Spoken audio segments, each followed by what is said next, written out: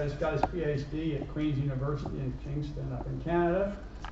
And then uh, a postdoc at the University of Iowa for three years. And then he finally realized it was too cold up there. And I'm sure he appreciates that right now.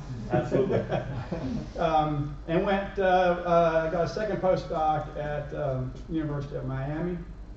Got involved in the NRDA research that we all know and love, and um, then finally got a faculty position at University of Texas, where he's at the Port Aransas lab down on the coast. If you have never been to this lab, it's a pretty neat place. It's a really nice, nice marine lab.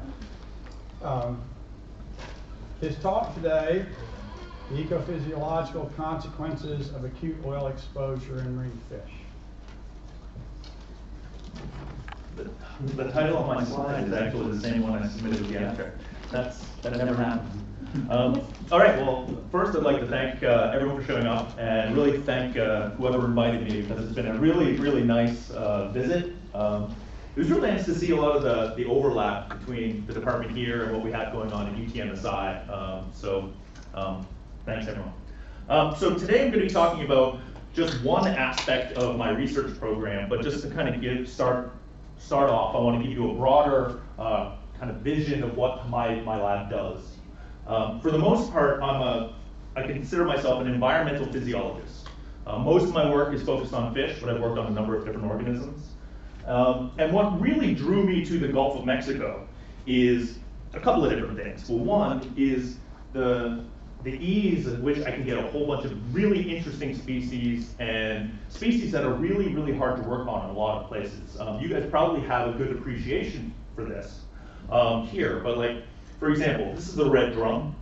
This is one of my models. Um, the ability to hold, um, grow and hold large numbers of these animals and change, manipulate experimental conditions is something that we can do at UTMSI. And this isn't something that a lot of marine labs or or especially labs that aren't on the coast, can offer. So that's one of the things that my lab does a lot of. We do a lot of environmental manipulations um, with the idea of looking at how animals respond to those environmental manipulations and how those environmental manipulations might impair an animal's performance. Um, so we do look a lot of work on different different taxa. Um, for example, we have the red drum. We do a lot of work on sharks. Uh, more recently, we've started working on the Atlantic tarpon. Um, and of course, we do a whole bunch of different types of environmental scenarios.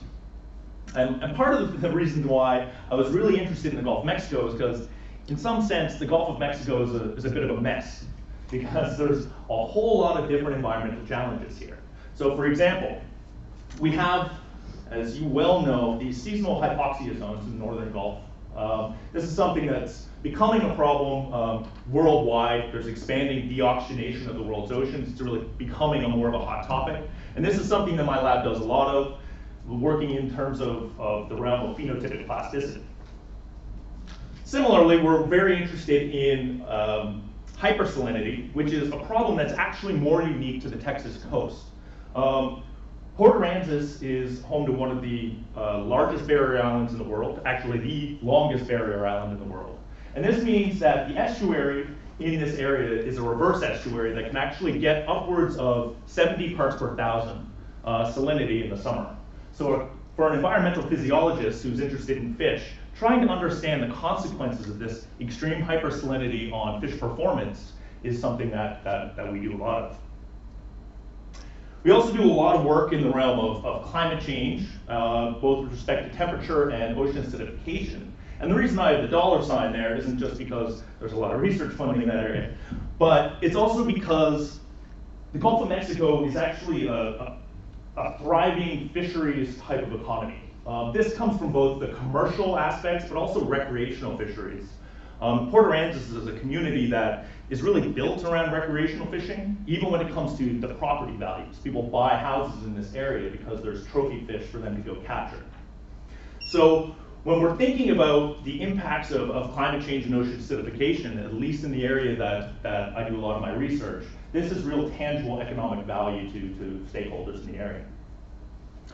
But today I'm going to be talking about um, an area um, that you are all pretty familiar with, I'm sure, um, kind of the ultimate impacts of the Deepwater Horizon oil spill. Um, this is something that I got into pretty much immediately after the oil spill during the, the NRDA work. Um, and so it's really taken on a life of its own since that time. Um, and it's turned into something that, you know, at first I was doing it because of an opportunity, and it's really evolved into something that is that that's probably going to be a big part of my research going forward. So I don't need to reiterate this slide to this audience, um, but there's one thing I do want to point out here, um, just to reiterate one thing, and that is the extensive use of Corexit that was used after the Deepwater Horizon oil spill. This is something that um, was kind of unique about the Deepwater Horizon. Um, also mixed with that is the, the depth at which the oil spill happened. These two things combined made the Deepwater Horizon oil spill somewhat unique from a chemical perspective. This is something that I am, I am aware of, and we've done a lot of research actually on potential impacts of Corexit. But I'm not going to talk about that today. But I want you to feel free to ask me about these types of questions um, at the end of the seminar. If, you if you are curious about some of these, these things that are going on with Corexit or maybe some of the work that we've done in this realm, feel free to open up um, or ask about that. The other thing that I want to reiterate is the idea about weathering. So you guys are probably all too familiar with images like this from the coast of Louisiana. Um, you have oil slicks that were out on the open water of the Gulf. Now, what's really important to remember about these types of, of images is that oil changes its chemical composition as a consequence of weathering. When oil was first released from the oil spill, it contained a whole slew of, of the toxic chemical or constituents that really drive toxicity, which is polycyclic aromatic hydrocarbons. Um, low molecular weight chemicals kind of are weathered off, and that leaves what's left, which is kind of a high molecular weight um, weathered oil slick. The differences in toxicity between these weathered and non-weathered oils are actually pretty apparent and pretty abundant. This is also something that we've done a lot of research on in the lab, but again, not something I'm going to talk about today. Feel free to ask me about it. So now that I've talked about all the things I'm not going to talk about, what am I going to talk about?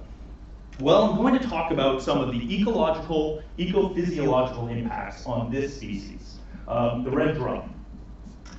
Red drum are really, really interesting, especially in the coast of Texas, um, because one, they're very, very abundant along the coast. They're an estuarine-dependent species. Uh, they spawn just offshore. Um, the fertilized embryos and larvae make their way through passes into the estuary where they settle. They usually stay in the estuary for about three years and then move back out offshore to, to join the spawning stock biomass.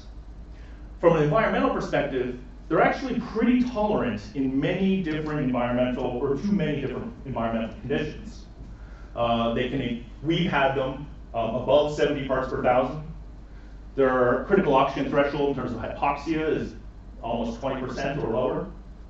They're very eurythermal, with about a 30 degree span in terms of uh, their, their thermal temperatures. And the last point is they're very economically important. At uh, the University of Texas Marine Science Institute, we're also lucky enough to have several uh, broodstock of these animals, which allows us to uh, spawn animals and collect early life stages, which is such as this embryo and this early life stage larva, which are very, very important for looking at toxicological impacts because often times the early life stages are the most sensitive.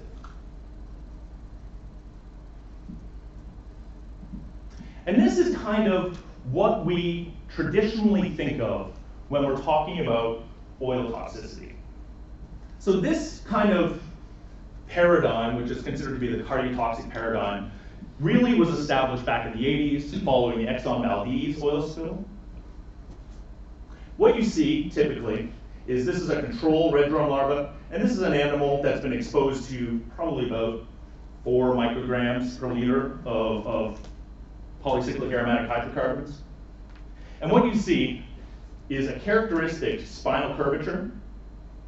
You see malformed kind of uh, craniofacial uh, changes. And most importantly, you see this, which is a pericardial edema.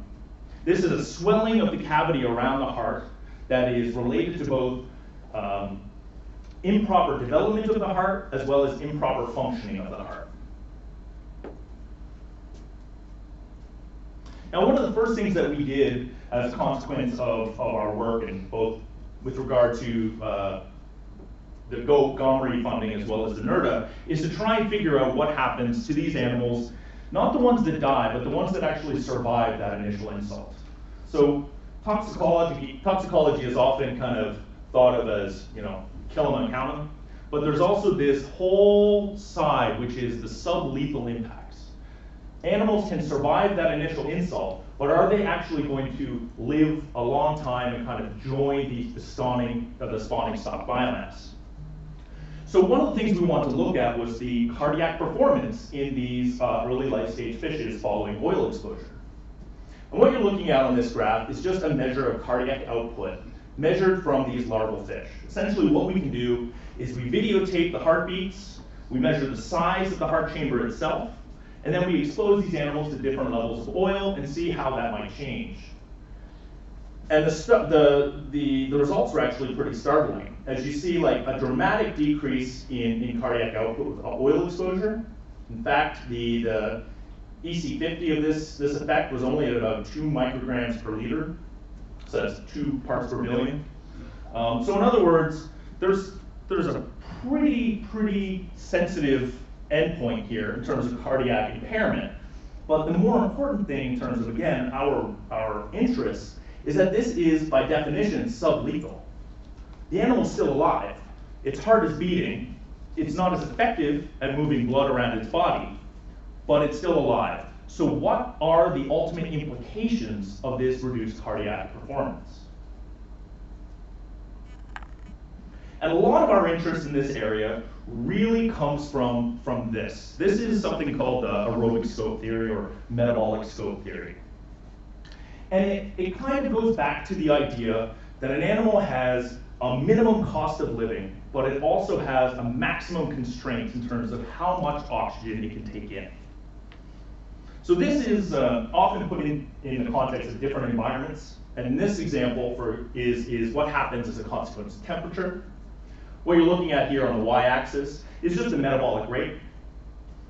Along the x here is just a running from a cold temperature to a warm temperature. This green line represents standard metabolic rate. Standard metabolic rate is the baseline amount of energy that it takes to just stay alive. So consider yourself when you're lying in bed doing absolutely nothing, the energy that you're burning just doing that, that's standard metabolic rate. Now, it's pretty well determined in terms of temperature. Standard metabolic rate goes up as an animal gets warmer. It goes lower when an animal's colder. Now, the other side of the equation is this. This red line is the maximum metabolic rate. Maximum metabolic rate is a physiological value that defines how much oxygen an animal can take up. It's an absolute constraint. It's the maximum, no matter what, that an animal can, can use. So in other words, this is how much energy is available to the animal. Now, Maximum metabolic rate can be constrained by a number of different environmental factors. And again, this is just an example of an idealized um, fish where maximum metabolic rate. Maximum metabolic rate has a peak and then it starts to collapse. Now, when it comes to oil exposure, the reason we are interested in aerobic scope theory is because maximum metabolic rate is defined by cardiac performance. The more blood an animal can pump around the body, the higher its maximum metabolic rate is going to be. Now, the flip side of that, of course, is that any reduction in metabolic rate, or sorry, in, in cardiac performance, should constrain metabolic rate and therefore reduce this value here, which is aerobic scope. That is the difference between the cost of living and how much energy is available to the animal.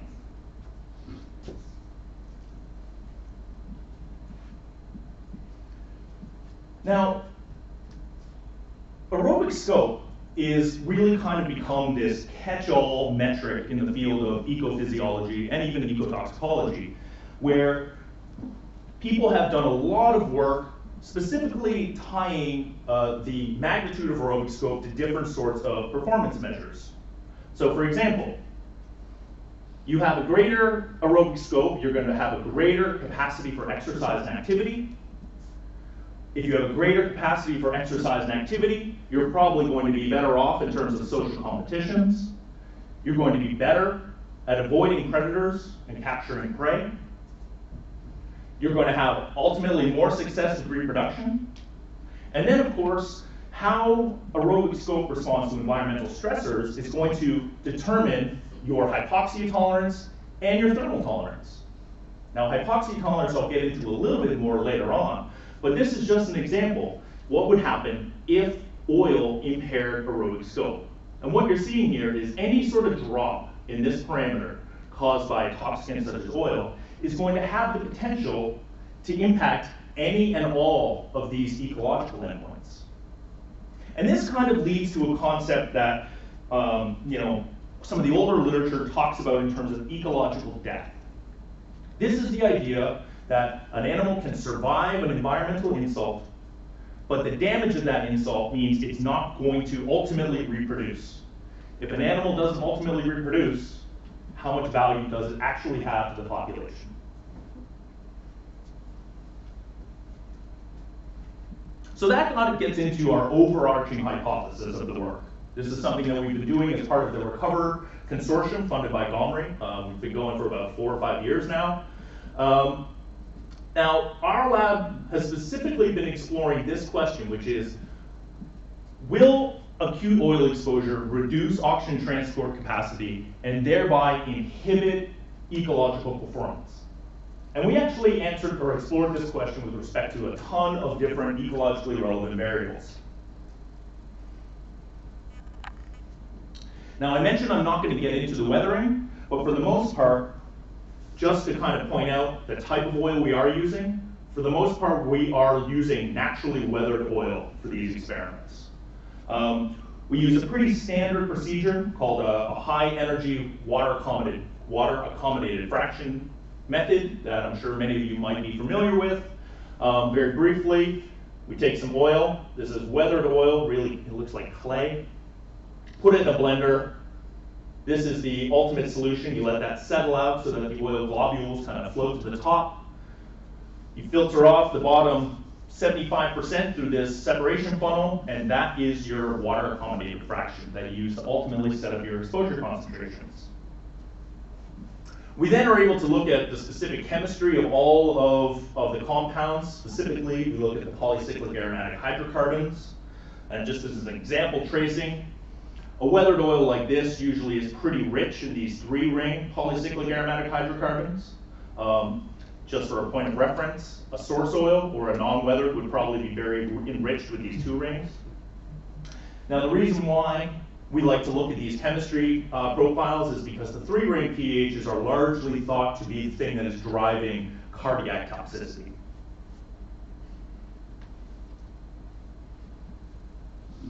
So the very first thing we wanted to do when we were um,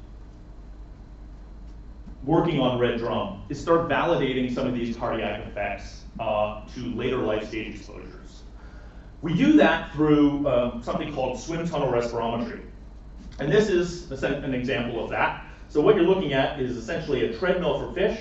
Here's our motor. Water is getting spun around and through this laminar flow um, block. The fish is then able to, you know, um, swim, and we're able to increase the swim speed to induce exercise. You'll notice the O-ring around the whole chamber, which means this is oxygen tight. We have an oxygen probe in there. We're able to measure oxygen consumption. And my lab is fortunate enough right now to have eight different uh, swim tunnels in the lab. So we're able to do this on a number of different life stages um, in relatively high throughput now. So how do these studies work? Well, this is an example um, of a, the, the, kind of the data that you get out of a, a swim respirometry um, experiment. Along the x-axis here, you have swim speed. We, we um, listed in body length per second and normalized for size. Along the y-axis is the oxygen consumption. And what you can see is as the animal swims faster and faster, the oxygen consumption goes up in a nice defined uh, trace. When the animal fails at the end, that is considered to be the critical swim speed. This is the maximum swim uh, capacity of the animal. At that point, that is considered the maximum metabolic rate. So it's important to note that this swim trial, and that is a failed fish, um, the, the maximum metabolic rate for this protocol is specifically target, targeting aerobic swim performance. So in other words, the slow, smooth swimming, as you can see here. They're not really jumping around a lot, they're just kind of swimming at a nice steady speed. Now we can use this relationship to track back to zero. And that is an estimate of standard metabolic rate, or the minimum cost of living. Again, the difference between those two things is our aerobic scope. So the first thing we really wanted to do is one, validate that the impacts that have been uh, described in other fish were true also for red drum. But more importantly, we wanted to assess how long lasting those effects were. Now this is important from an ecological standpoint because if an acute exposure causes an injury and that injury is recovered from within 48 hours, the scope for damage really isn't, isn't very great. So what we looked at, again, these on the, the left side of these graphs are our metabolic parameters. We have standard metabolic rate, maximum metabolic rate, and aerobic scope. These are all listed in terms of, of relative uh, drop. So the white bars represent a 4.1 microgram per liter uh, dose, and the, the other bars are all a 12.1 microgram per liter dose. And what you can see after our 24-hour exposure, our maximum metabolic rate went down by about 15%, just as expected. The other points are after one week of recovery, which is the darker gray bar, and six weeks of recovery, which is the black bar. This is what was really interesting about this work. 24 hours of exposure to one oil dose resulted in impaired metabolic performance even a month and a half after that exposure. So these aren't effects that are just happening for a short amount of time. They're effects that are actually staying with the animal for a relatively long amount of time. They also manifest in swim speed. This is our critical uh, swim speed here. And this is uh, another swim measure called U-burst. This is when an animal transitions from aerobic swimming to burst swimming or anaerobic swimming. It's just a different type of measure.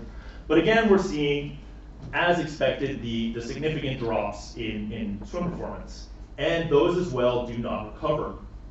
So in other words, we're seeing long-lasting injury. That's a really important first step. So then we started looking at indices of, of ecological performance.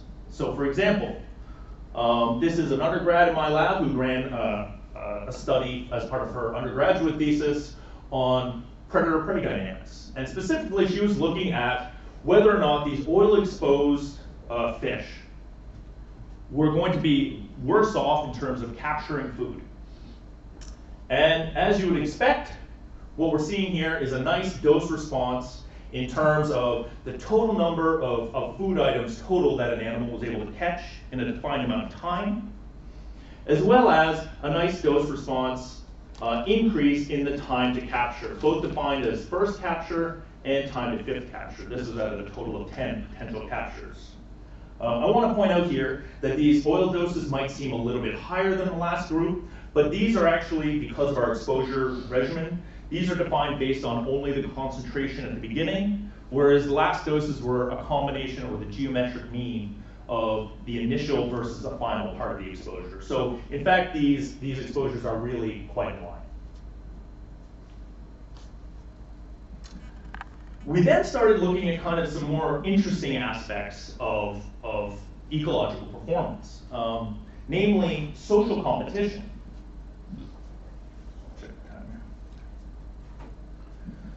So the social competition aspects, oh, the video stopped.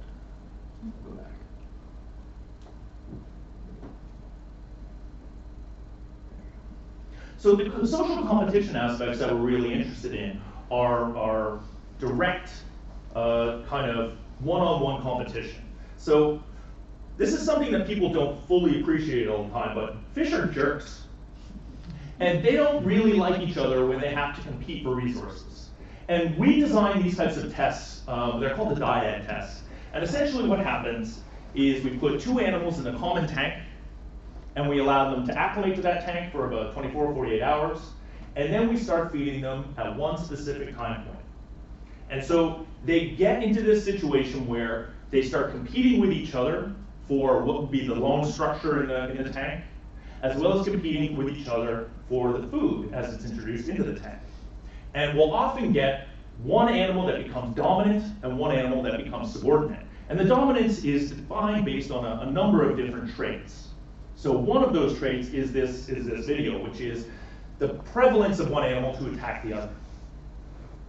Again, they just, they beat each other up pretty good. Over a course of a week, they can, like we've had to actually stop um, tests early because of, of too much social interaction. Like how that's phrased, yeah.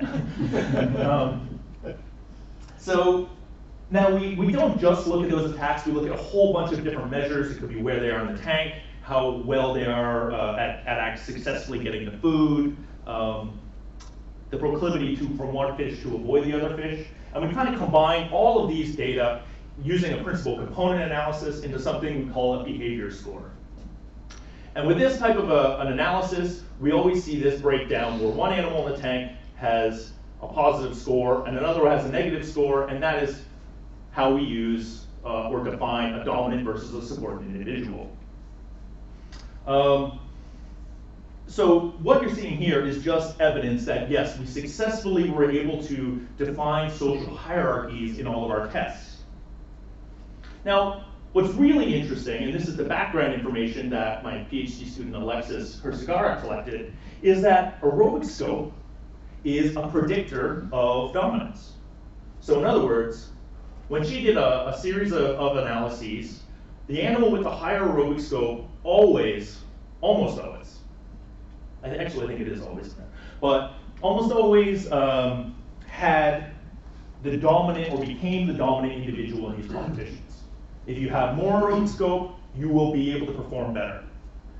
Now, the reason why that was so interesting is because, based on our last set of data, oil exposure reduces aerobic scope.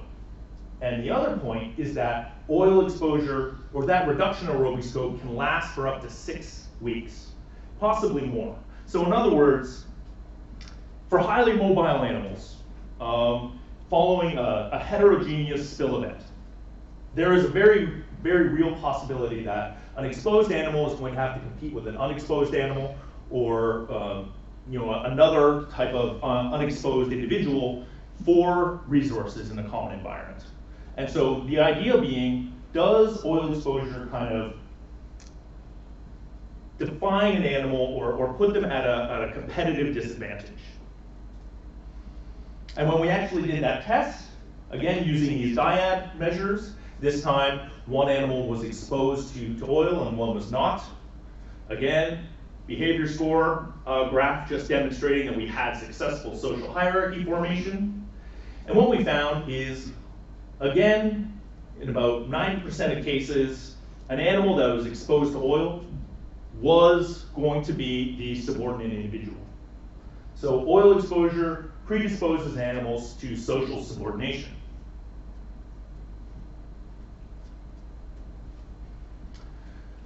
So the question then became, okay, if an animal is um, predisposed to social subordination, how does that actually impact individuals in these complex groups that happen in nature?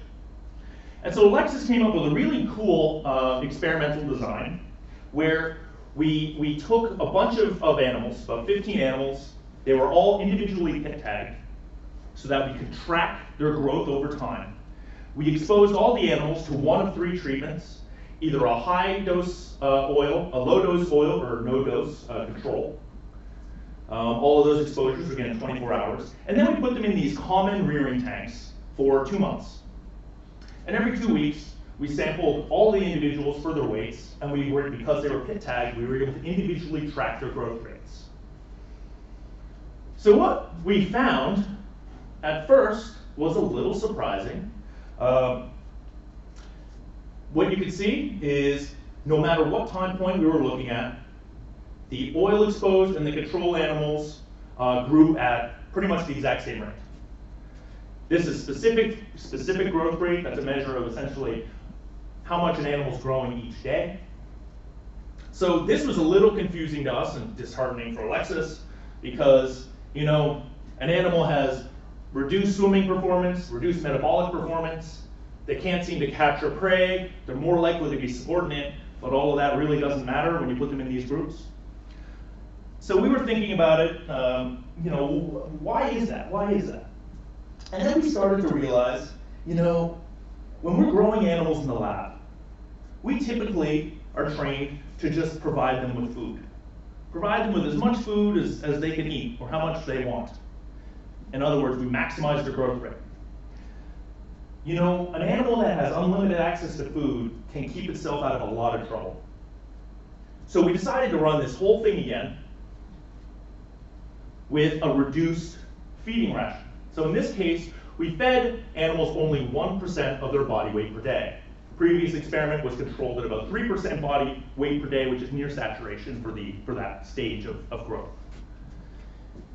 And this time, what we saw is that yes, the oil exposed animals, here, this group and this group, over time, they started to manifest in terms of having a reduced specific growth rate relative to the controls. So, in other words, the environment that you are testing your animals, animals in really does matter. If, a, if an animal is in a resource rich environment that has no predators, something that is considered a sublethal exposure probably isn't going to have too much in terms of dramatic effects. Because the animal can, you know, just keep itself out of trouble. Alternatively, if an animal's in a patchy resource environment where they actually have to compete to get food, and they might have to give key to avoid predators, they're less likely to, to succeed if they've been exposed to, to oil.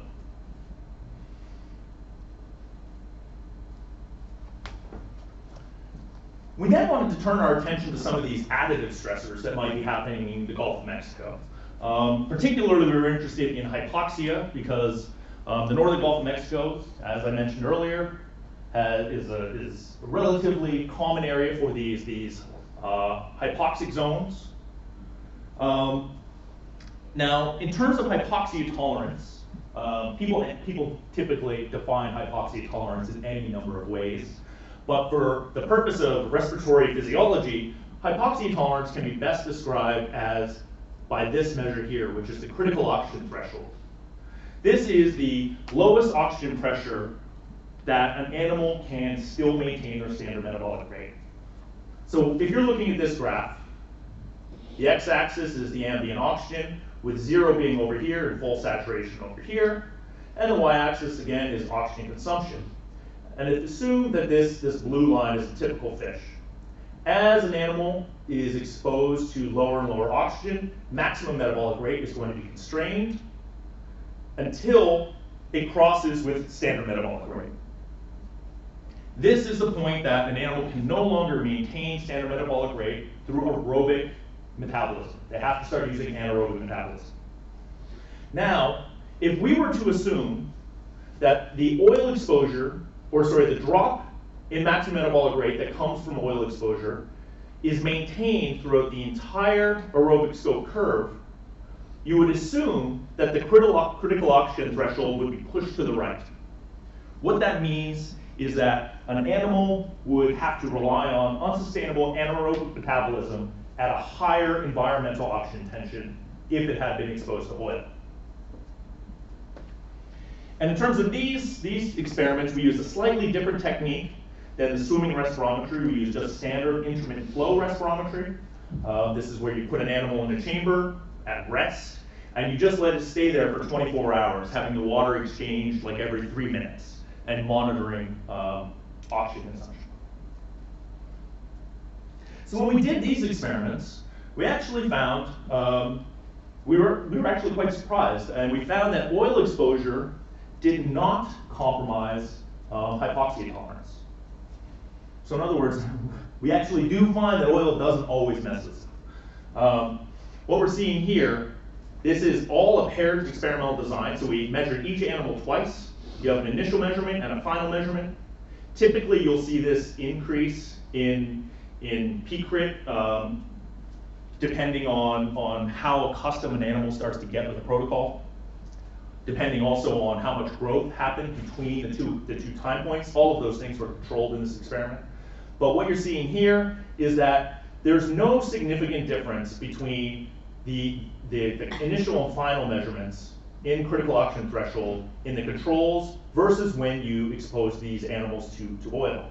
And I should also point out that while the data is not shown here, we did see the significantly reduced aerobic scope at these exact same oil doses. So in other words, what we hypothesized is that as the animal uh, moves into hypoxic environments, cardiac physiology becomes less important for the animal in terms of constraining uh, metabolic rate. We think that at lower oxygen levels, the system becomes more based around affinity, or in other words, hemoglobin oxygen binding capacity, the ability of hemoglobin to bind oxygen. And that isn't something that we believe is impaired by OLA, although it is something that we're starting to test now.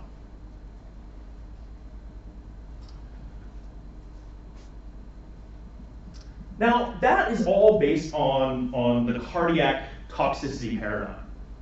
Now, one of the things that really started to stick out to us during a lot of this work, especially when Alexis started in on her behavior, or sorry, the, you know, the dominant style work, is that there's, there's a, a bunch of data now that's coming out about an emerging kind of paradigm that we're, we're calling uh, behavioral impairment. And it really started here this is a, just an IPA analysis of a, transcriptome uh, from larval fish. Um, again, exposed animals versus, uh, versus control red drum. And what we're seeing relatively consistently across studies, even across different species, is that the transcriptomic profile suggests some degree of neural impairment.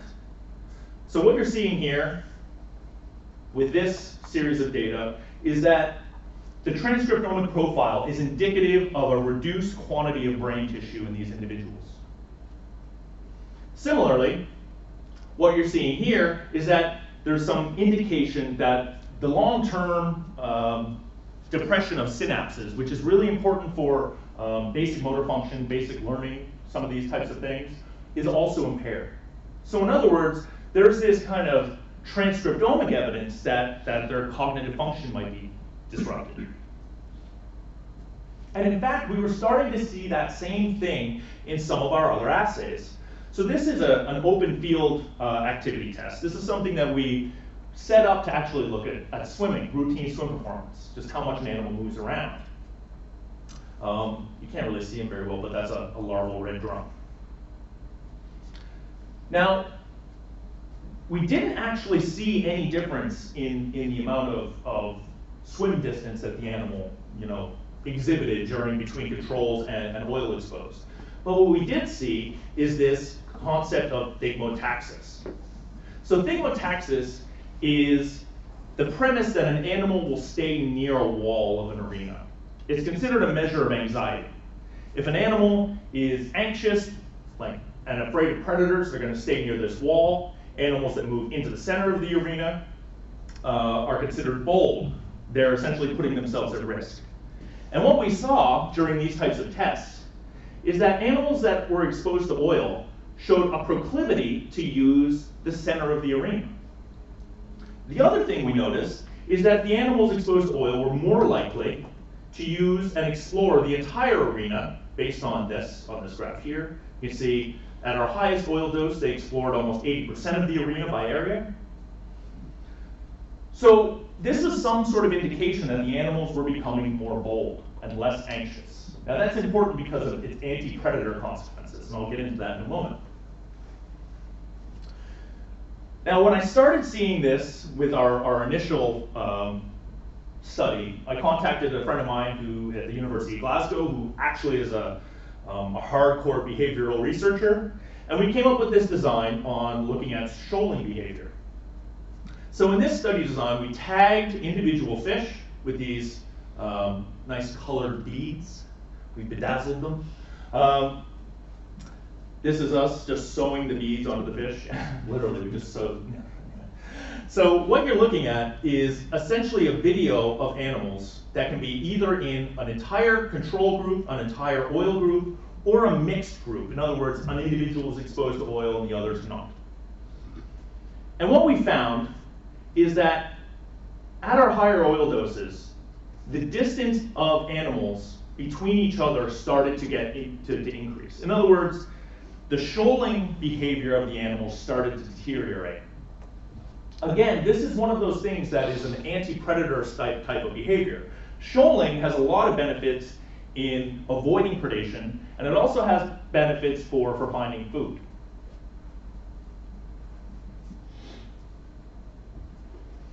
And so we actually started seeing these same types of, of results in a number of different um, uh, experimental designs.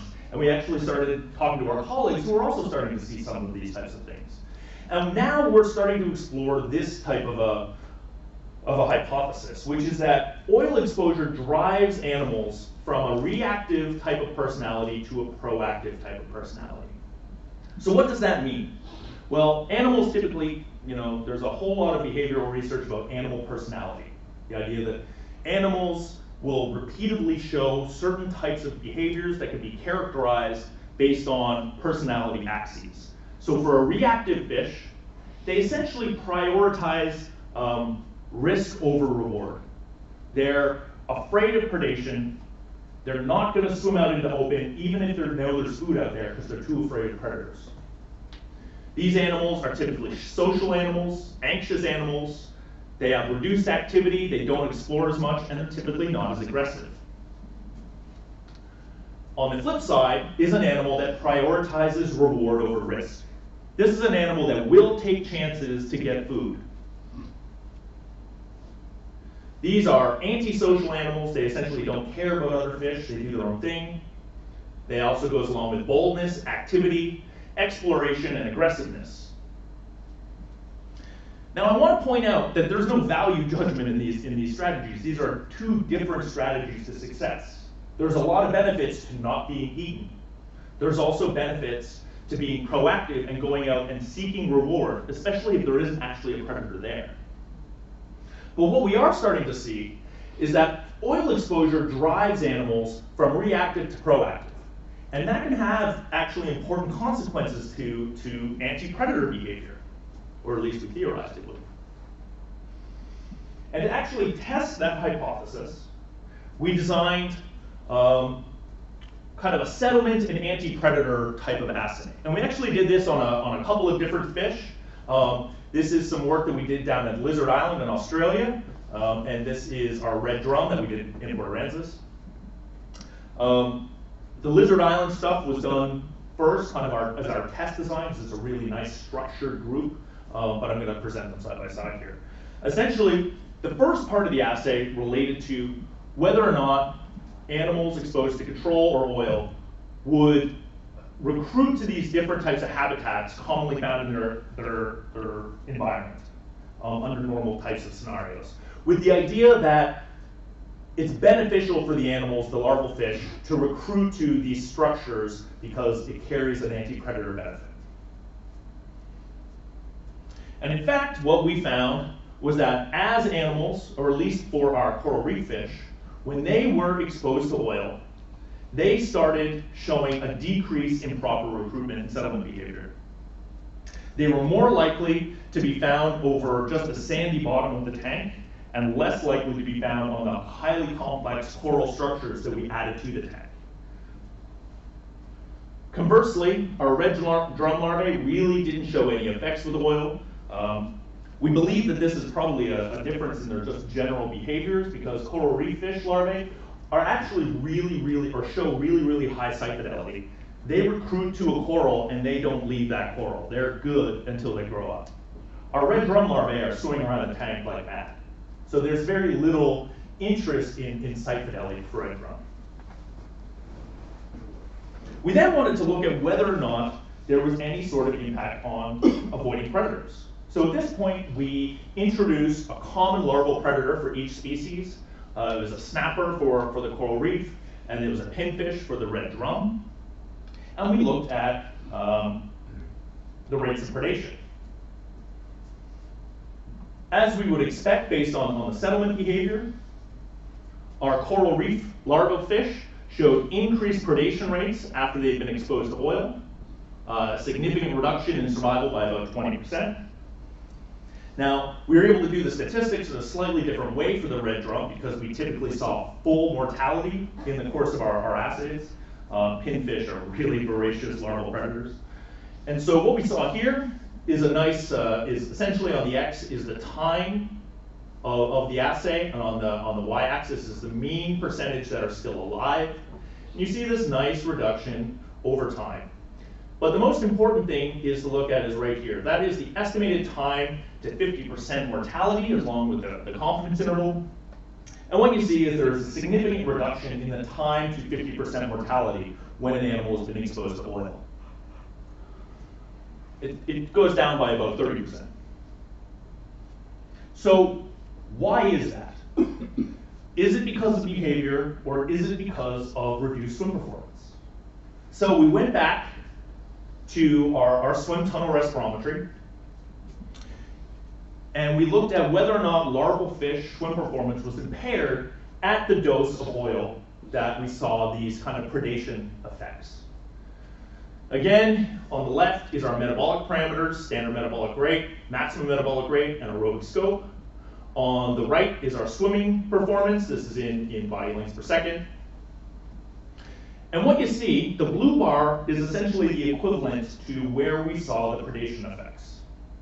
And there is no impact on any of our metabolic parameters. There's also no impact on our swim performance parameters. We did eventually start seeing impairment in swim performance at a much higher dose. And this is actually a little bit of an overestimate. There was one replicate that had a higher. Doesn't matter. But um, the most important thing is it doesn't line up with our predation data. So what this kind of means, at least how we're interpreting it, is that we don't think it's cardiac performance or impaired cardiac performance that's resulting in this reduced um, ability to avoid predators. We believe that it's probably related to behavioral impairment or behavioral changes. Larval fish starting to take more risks um, that lead to predation.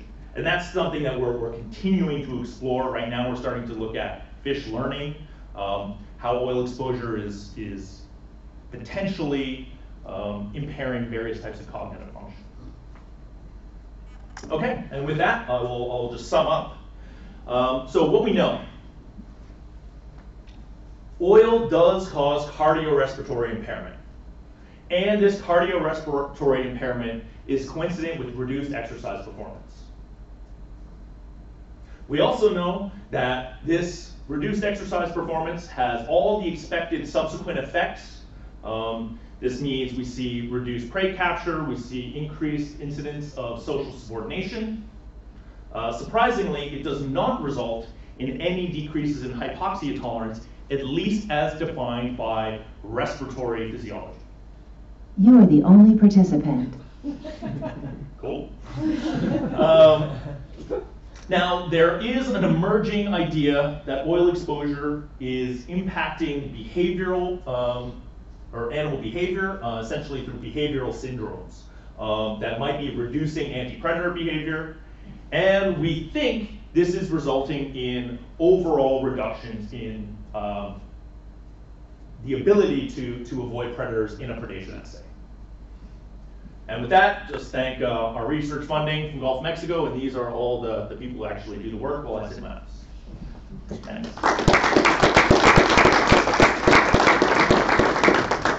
Questions?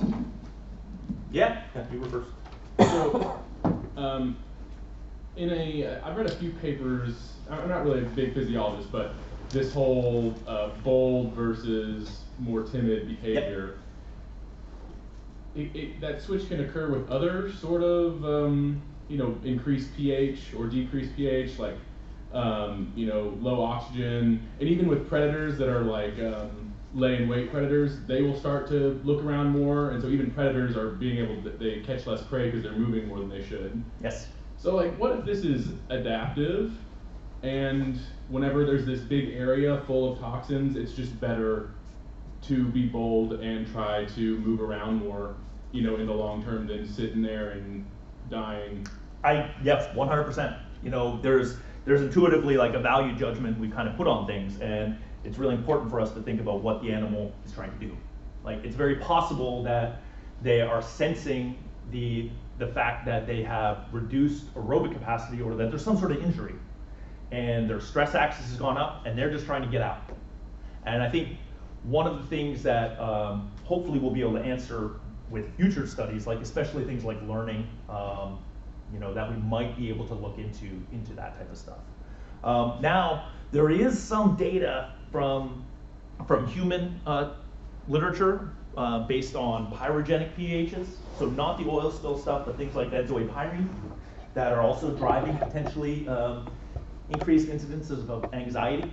Um, so anxiety is a very defined thing that you can you can assess by drugs. Like if if you hit it with gabazine, an ang, uh, anxi, anxiogenic drug, you should get a defined response. And we get that in fish. It's just trying to interpret the intention of the animal. So yes, 100%. Cool, thanks. So along those lines, does that oil-induced subordinate relationship, is that dose responsive? If you increase the dose, they become more subordinate or? It's a binomial measure. So we did do it, we saw increase or we saw um, maintained effects. So So essentially, we did a chi-squared and then the proportion of animals that essentially you have a 85% likelihood of being subordinate if you've been exposed regardless of dose.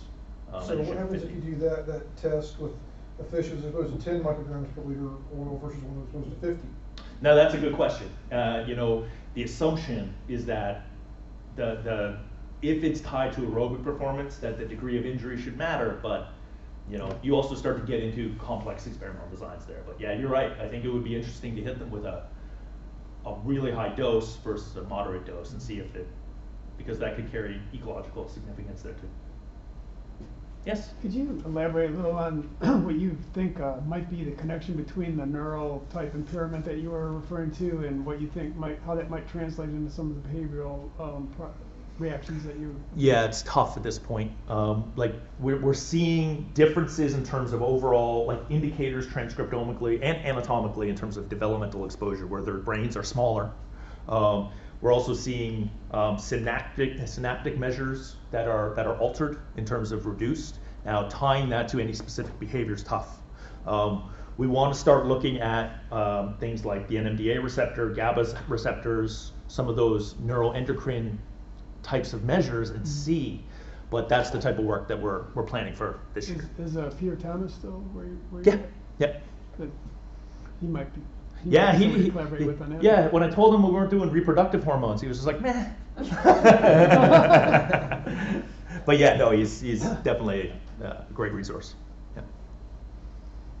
Yes? So it's really pretty counterintuitive that you didn't see a difference in hypoxia tolerance following exposure. Mhm. So I'm curious, what was the, what was the, the life stage for those experiments? Those were all um, uh, subadults, so they're, they're juvenile they were fish. but- exposed as juveniles? They were so that the testing was done. Um, when did we do that? 24. We gave them 24 hours between the oil exposure to relax to come out of it before they went back in the respirometer. Yeah, I so it was almost guess what I'm immediate. Thinking is if you were exposed as a larval fish during that critical cardiac development window, knowing what we know about the morphological defects affiliated with that timing of, of that. um, Absolutely. Now, there's one of the things that kind of gets glossed over, and I'm guilty because I just glossed over it, but um, there's a difference in how the cardiac impairments manifest in development versus in later life, right? So in development, the heart is, it's shaped differently, you know, so it has reduced cardiac output. Um, in later life, it also has a reduced cardiac output, but the, the actual channels that control the heartbeat are disrupted. Um, they manifest this kind of the same way from in terms of cardiorespiratory physiology, though. So they both have a reduction in cardiac output, which correlates to a reduction in maximum metabolic rate. And so the thing that I think is happening, and we're testing this hypothesis now, is that what defines critical oxygen threshold isn't cardiac performance. We think it's the, the, the hemoglobin. And so there is a lot of data out there that has correlated um, the P50 of hemoglobin, which is the oxygen saturation at which hemoglobin is 50% saturated itself. That that is a better measure of or um, predictor of critical oxygen threshold than total cardiac performance.